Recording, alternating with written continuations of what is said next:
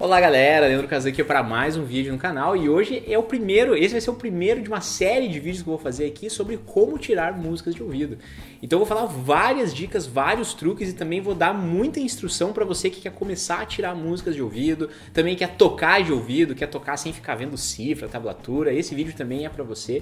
E eu vou falar desde como que você começa com isso, como que você deve pensar, até como você consegue desenvolver o teu ouvido até chegar num nível alto onde você consegue tocar qualquer música música, consegue tirar qualquer música é, ou tocar ela sem cifra, sem tablatura, qualquer coisa assim. E também vou dizer por que, essa habilidade é fundamental para qualquer músico. Se tem uma coisa que todo músico bom tem, é um bom ouvido musical. Você já deve ter visto aqueles músicos que o cara consegue tocar um monte de música e o cara não precisa de cifra, de nada, de tablatura, eles tocam um monte de música de cabeça. Ou também tem aquele cara, aquela história, né, de o cara falar assim, oh, qual que é o tom dessa música? Ah, o tom é Ré maior. Então, e o cara sai tocando a música também, sim, pura e simplesmente ou aquele cara que automaticamente consegue fazer uma versão de uma música, trocar o tom da música. Enquanto a maioria das pessoas, quando fala o nome de uma música, tem que ir lá procurar a cifra e esquece, não, tem, não consegue lembrar de cabeça, ou tem que relembrar o solo, ou não sei o que, esses caras já saem tocando a música. Bom, eu já fui esse cara que precisava das cifras para ficar tocando, não conseguia tocar uma música, memorizar, sou muito ruim de memória, na verdade.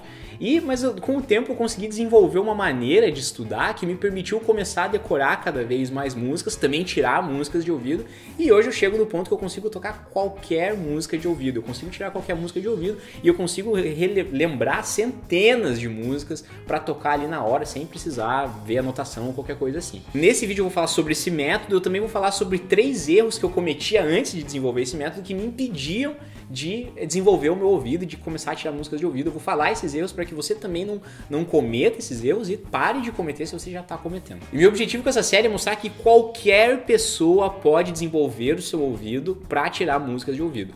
Todo mundo, não tem essa história de ah, eu tenho ouvido bom, não tenho ouvido bom, eu tenho jeito para coisa, não. não, isso é uma questão de treino. Se você sabe tocar uma música no violão, na guitarra, qualquer coisa assim, você já pode começar já a desenvolver o seu ouvido e cada vez desenvolver ele mais. Só que não é no instalar de dedo, você não vai com uma aula conseguir tirar todas as músicas do mundo. É preciso desenvolver isso aí, tem um caminho e é esse caminho que eu vou falar aqui nesse vídeo e também nos próximos vídeos. Bom, se você não me conhece, eu sou o Leandro Kazan, sou músico profissional e professor de música há 12 anos mas eu toco há mais de 20 anos já. E eu sou conhecido aqui no YouTube pelo meu trabalho com a técnica do violão fingerstyle, então eu já toquei várias músicas fingerstyle aqui também. Mas eu também sou músico em outras áreas, eu toco guitarra também, já toquei em banda, banda de música própria, em banda cover, banda de casamento, fiz gravações, já acompanhei música, toquei na igreja também, já fiz um monte de coisa com música. Muita gente acha que essa minha versatilidade na música se deve à minha técnica, ou porque eu sei muitas escalas, ou sei muitos ritmos ou acordes, mas na verdade eu acho que o meu grande segredo ali é que eu tenho um bom ouvido. Eu posso dizer que eu tenho um bom ouvido, que eu consigo me virar muito bem tirando músicas de ouvido, relembrando músicas. E como eu percebi que hoje tem pouca gente falando, pouco músico falando sobre essa arte de você tirar músicas de ouvido, uma coisa que é tão importante, mas o pessoal foca mais na parte técnica e tudo mais, é por isso que eu resolvi fazer essa série de vídeos e também por isso que eu criei um curso super aprofundado que é, se intitula Como Tirar Músicas de Ouvido. Esse curso eu ensino a fundo, passo a passo, como tirar todas as músicas, do mais, da mais difícil mais, da mais fácil a mais difícil, para que você entenda todas as etapas de como que você vai desenvolver o seu ouvido. Durante esses vídeos eu também vou falar um pouco sobre o curso, um pouco mais sobre o curso, e caso você tenha interesse, fica ligado nas próximas informações que eu vou passar aqui nesse vídeo. Bom, então hoje com a internet é muito fácil você aprender músicas, né? Então antigamente a galera tinha que pegar revistinha de música e tal, mas hoje você vai lá no site do Cifra Clube lá e consegue pegar um monte de música, cifra, tablatura, solo. Você consegue também vir aqui no YouTube e consegue ver um monte de vídeo aula da galera tocando, exemplos, tudo mais. Isso é muito legal porque você consegue aprender música. Mas todo mundo geralmente pega esse caminho, começa a aprender um monte de músicas com cifras, mas com o tempo vai sentindo necessidade de se livrar das cifras, porque às vezes é um pouco chato você ficar toda vez que você quiser tocar uma música, você tem que olhar no você não consegue decorar. E na hora de decorar as músicas, a galera geralmente vai pelo lado mais óbvio, né? De tentar decorar a cifra. Então, ah, eu quero, vou tocar essa música, então ela é C, depois é G, depois é D, depois é C, depois vai pro G, depois vai pro E. Ou quando vai decorar um Sol lá, não tem que usar a casa 5, depois a 7, depois a 8, depois a 8 na segunda corda, depois a 5. E é muita informação, né? E é difícil de fazer isso. E eu vou te falar a verdade. Na verdade, eu também comecei a tentar decorar músicas dessa maneira quando eu comecei a, a, aprender. Eu segui o mesmo caminho, eu tinha lá uma pasta de cifras, né? E eu sempre que precisava tocar música, eu olhava a pasta. Eu fiquei, era muito divertido tocar com a pasta, era super legal. Mas quando eu fui começando a, a conhecer mais músicos, eu via que tinha alguns músicos que não precisavam da pasta de cifra e era muito mais fácil para eles tocarem. Ah, falava o nome da música, ele tentava lá, já saía tocando, pô, e ele sabia música de cor. E daí, enquanto eu ficava lá preocupado em não me perder na cifra, o cara tava lá tocando, cantando, se divertindo. Então era mais fácil, mais leve. Ele tocava melhor porque ele tava tocando sem cifra, sem anotação nenhuma. E eu, na época, tentei fazer esse caminho de tentar decorar as cifras, né? E, cara, só que eu não conseguia. Eu sou, eu sou muito ruim de memória para decorar letra de música, pra decorar lista de mercado. Às vezes eu vou no mercado e esqueço tudo que eu tenho que comprar. Então imagine decorar música, né? Ah, quero tocar lá 10 músicas, ter que decorar música por música para mim é bem complicado. Na época eu tinha um professor que ele nem era tão bom tecnicamente, eu até tocava umas coisas mais difíceis que ele, assim. Mas ele era muito bom de ouvido. Eu tocava as coisas difíceis, mas tinha que ficar olhando a anotação. E ele tocava de ouvido lá, tocava sem precisar de anotação nenhuma. E aí eu comecei a, a conversar com ele, falando da minha dificuldade de decorar as músicas. E ele me perguntou, tá, mas como que você faz para decorar as músicas? Eu falei, bom, eu vejo lá a cifra, depois eu vejo, ah, é C, é D, é G, não sei o que e tudo mais.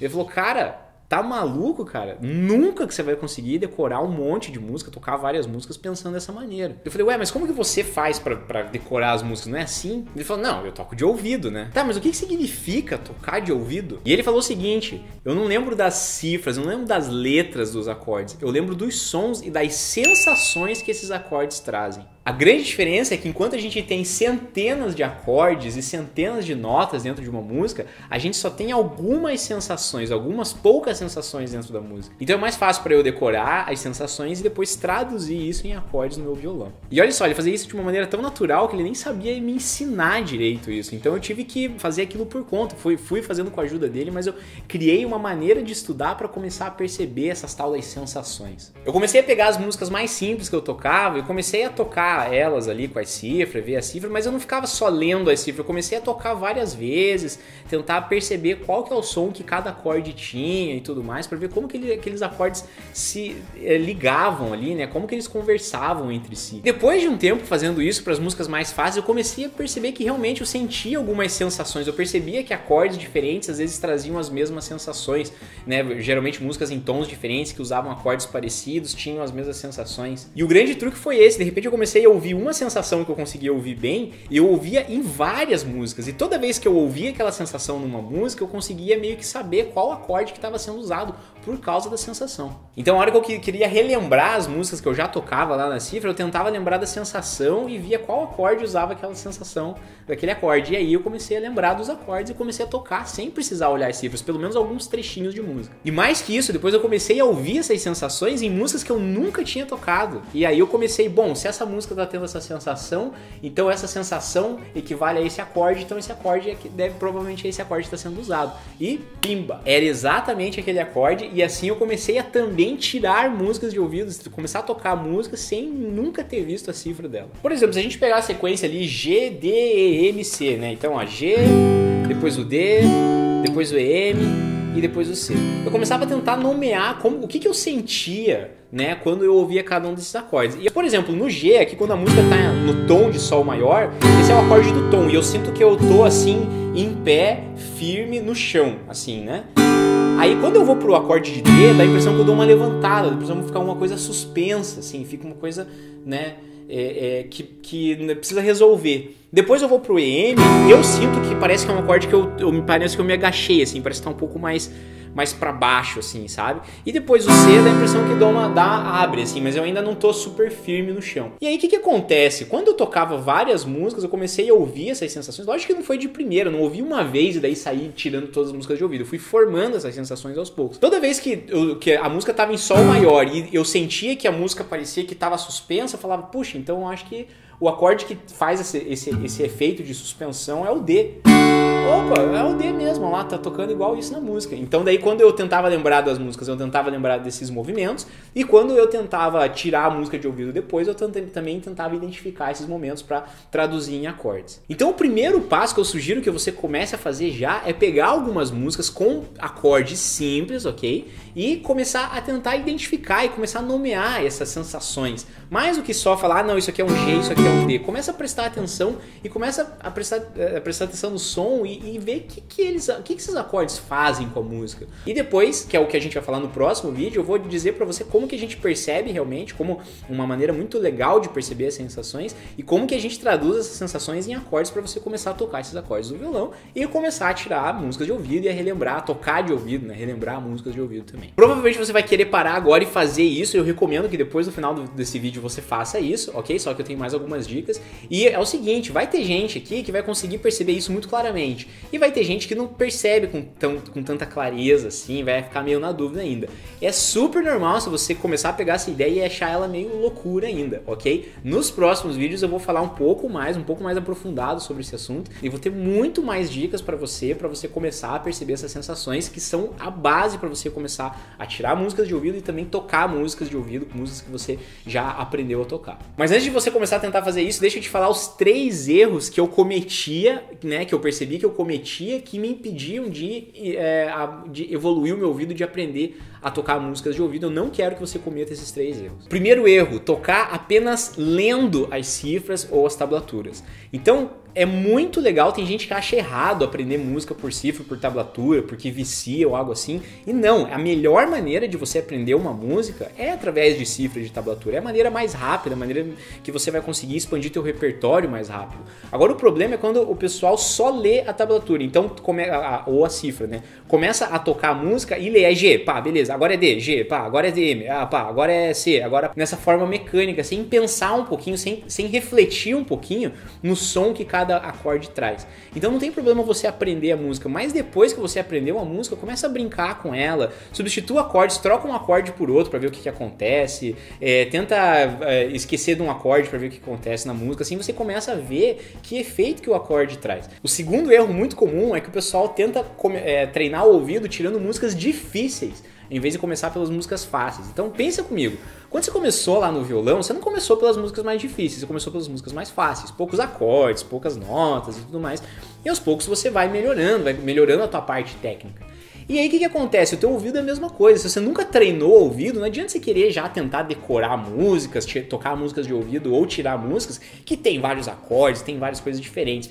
Geralmente o cara lá toca dois, três anos e daí o cara quer tentar tirar música de ouvido, aquela música que ele tá aprendendo agora, que já é mais difícil. Né? Não, você tem que começar do começo. Então você tem que começar com um acorde, com músicas que tem poucos acordes, poucas notas, aos poucos ir melhorando o teu ouvido. E você vê que quando você começa lá do passo 1, um, passo 2, as músicas mais simples, só o aprendizado que você tem aqui no começo já te ajuda muito nas músicas mais difíceis também. Tudo uma questão de treino, só, só que você tem que começar da maneira certa. Se você começar da maneira certa, você consegue treinar da maneira certa, você consegue desenvolver o teu ouvido relativamente rápido, inclusive. E o terceiro erro que a galera comete muito é, é achar que tirar a música de ouvido é ficar chutando nota até acertar, né? E lógico, no, no, no, meu método de como tirar música de ouvido, um método aprofundado, eu até falo para os meus alunos que tem umas horas que você tem que chutar e tem que experimentar, né? Mas tem uma lógica daquilo, você segue uma linha de raciocínio. Você ficar simplesmente chutando, ah, tocou um acorde aqui, agora eu vou tocar o Fá, vou tocar o Fá vou tocar o Sol. Tocar o... Você até vai acertar umas notas, vai conseguir adivinhar umas notas, mas você não vai estar trabalhando o teu ouvido musical. Então aquilo não vai te ajudar a decorar músicas, a tocar de ouvido ou a tirar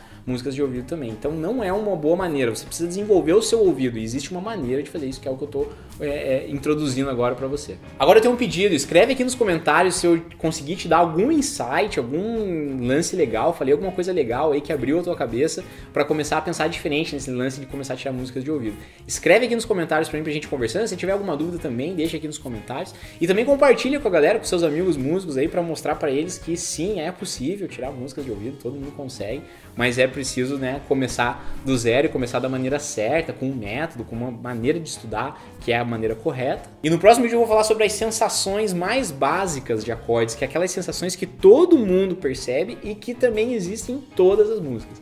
Eu tenho duvido que você não consiga perceber essas sensações, mas isso eu vou falar no próximo vídeo, ok? Fique ligado no canal, se inscreve se não for inscrito no canal ainda e eu vejo você no próximo vídeo. Um abraço e até mais.